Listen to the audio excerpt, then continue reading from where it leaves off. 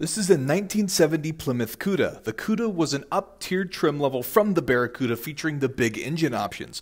This car in particular features the 383 cubic inch Magnum V8 with the pistol grip 4-speed manual transmission.